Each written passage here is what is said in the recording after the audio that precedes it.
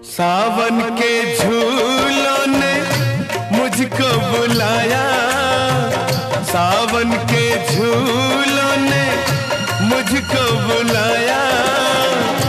मैं परदेसी घर वापस आया।